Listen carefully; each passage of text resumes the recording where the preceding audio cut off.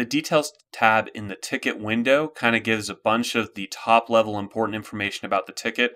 Uh, it has the ticket number, the job number that's tied to the ticket number, the statuses, and etc. As we go down here, you can see that it also has a lot of the information that's important for billing and for location information. So right here we have the purchaser, which in this case is Bravo Energy Corp, the region that we ran under for that specific purchaser, any purchase order numbers or secondary purchase order numbers. And then we have the cargo with the um, primary measurement, the one that usually is the most important here. So we, in this case, have loaded barrels, which has, in this case, gross and net. The next part down here is the pickup information. So the pickup location was the Ironwood Tank Battery, uh, Colorado City, Mich- Mitchell County, Tech, Texas. Um, so you got the city, state, county, all sort of stuff there, the producer, property numbers, and all the different information about this facility that may be relevant, um, dock types, barrels per inch, things like that.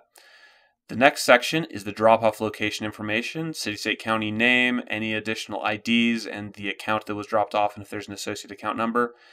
And then down here, you can see how many miles that route was, the driver information, and then depending on some settings and your user permissions, you have the ability to potentially open up some of the code related um, parts of this page.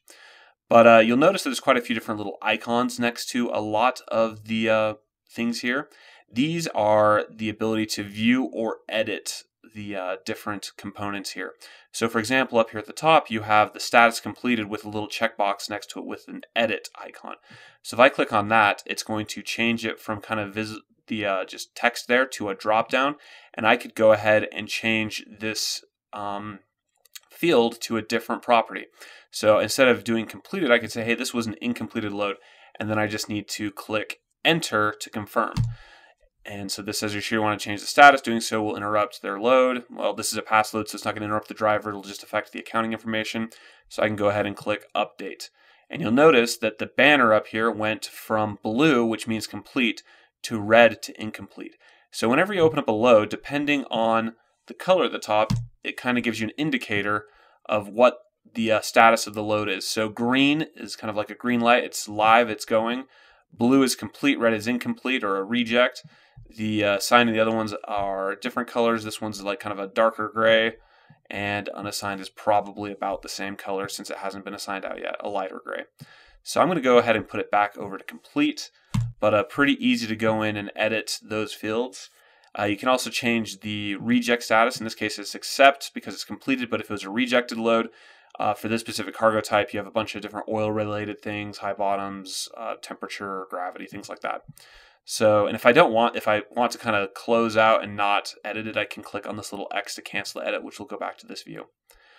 Um, you'll notice we can edit reject notes and uh, you know things like property numbers and things like that. So that's kind of the blue little edit will open up either a drop down or a text entry where you can just type in and click enter on your keyboard in order to confirm the change.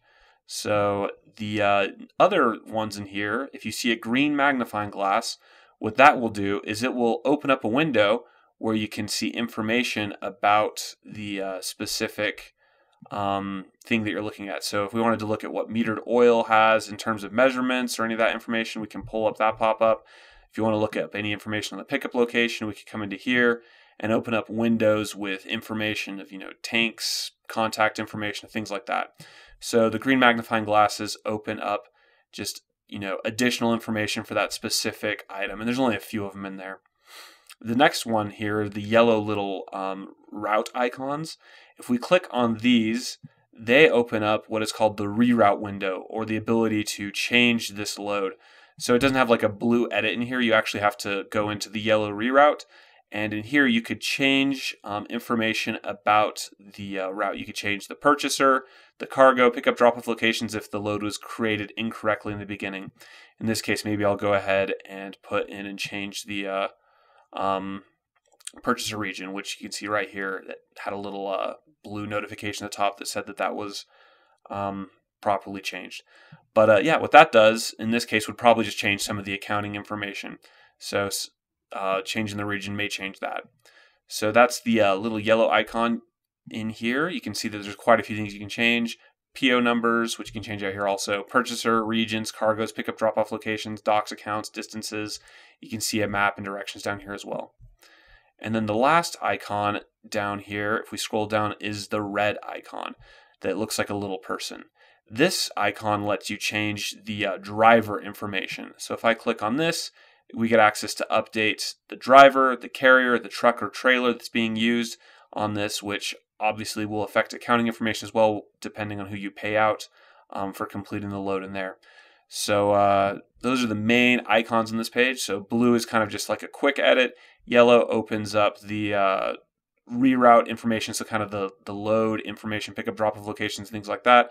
The red opens up who transported it, edit, and then the green just opens up a, a window with a bunch more information. So yeah, so that's the uh, details tab within the ticket window.